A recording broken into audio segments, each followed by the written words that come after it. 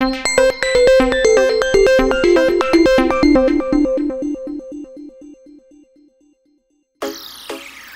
are many ways to promote your podcast, but research shows that social videos generate 1200% more shares than text or image content according to G2 Crowd.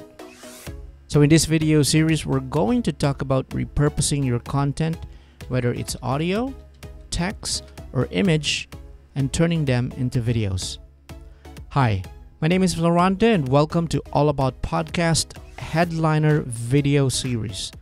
My goal for this video series is to help you familiarize yourself with different headliner features.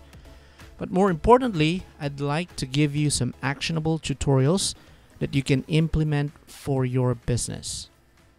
So let's go ahead and get started.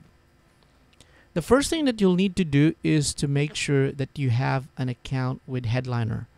If you haven't signed up, be sure to sign up and choose the plan that's suitable for you.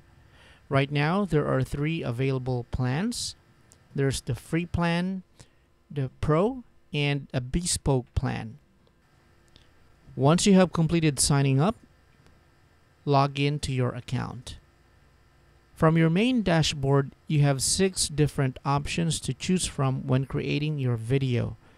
You can click on Audiogram Wizard, there's also the full episode, video transcript, article to video, find my content, and you can go straight to editor. We will go over each one of them, but for this episode, let's start with Audiogram Wizard. So what you'll need to do is to click on the Audiogram Wizard box. Choose the audio file that you'd like to turn into video. Please take note that Audiogram Wizard is for files not longer than 10 minutes. If you have more than 10 minutes of audio, you'll have to choose the full episode instead. Once you have chosen your audio file, you need to decide whether to get the audio transcribed by toggling the on and off button. Choose the language that will be used to transcribe your audio, then click on Next. Set your clip's start and end. And if you are posting to a specific social media platform, you can choose the icon on the right. Each icon has its corresponding time limit. You can move the clip's start and end, and you can move the selection too. Once you have chosen the right length for your audiogram video, you can go ahead and click on Next. Choose the aspect ratio. There are three options for your aspect ratio. You can choose landscape, square, and portrait. You have to choose the appropriate ratio for your video. Click Next. Customize your audiogram by choosing your preferred wave type, wave position, color, as well as background image. If you have a custom background image, all you need to do is to click on Add Background Image and locate the image in your computer.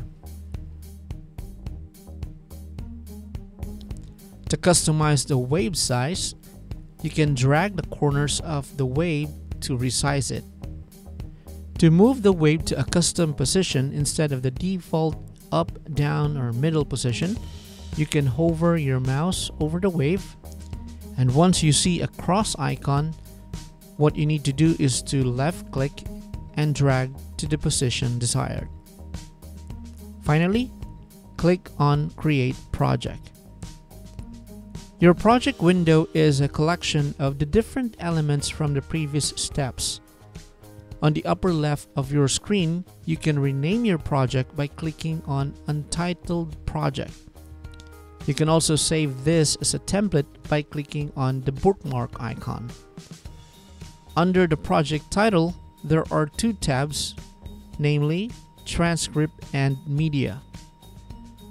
Below the Transcript and Media section is where you find the tracks that includes text, media, and audio tracks. The collection of these tracks is your timeline. Just above the timeline and beside the media tab is your preview window, where you can see real time how the video would look like by clicking on the play button. To generate the video file of your timeline, all you need to do is to click on export. To complete the export, you'll have to provide your preferred email address where a notification will be sent once export is completed. You can also select the frame rate, video quality, and video size. If you have an intro or outro clip, you can just click on add intro or add outro. Click export to generate the video. Once the export of your video is completed, you can click on the link that appears on the upper right hand corner of your window.